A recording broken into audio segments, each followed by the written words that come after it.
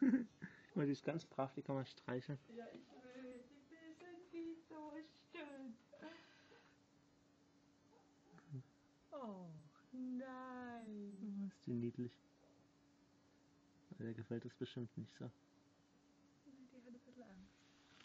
Das ist ja in Ruhe. das da an der Mauer festhält. hä? Mhm. Ist Noch das